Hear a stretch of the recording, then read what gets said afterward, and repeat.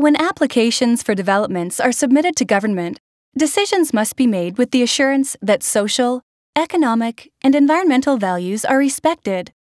The Environmental Mitigation Policy is a provincial policy that provides guidance and tools for project proponents planning environmental mitigation associated with development projects in British Columbia.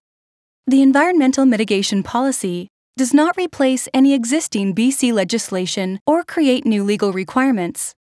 Rather, it supports various acts such as Environmental Assessment Act, Water Sustainability Act, and the Land Act, to name a few.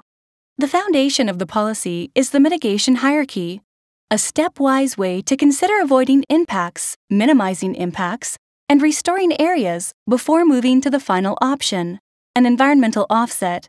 Together, the policy, and accompanying procedures lay out what information should be considered when determining which values are affected by the project.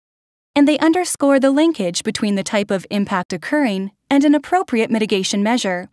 The procedures document that accompanies the policy contains all of the principles and considerations for how to use the policy to guide mitigation planning for a project.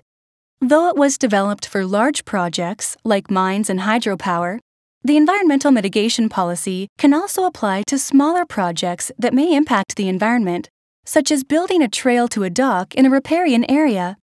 The environmental mitigation policy will usually be applied to projects proposed on Crown land, but the principles and process can also be applied to developments on private land. In addition to providing guidance to proponents, the policy and procedures can also guide stakeholders and government decision makers who review development projects.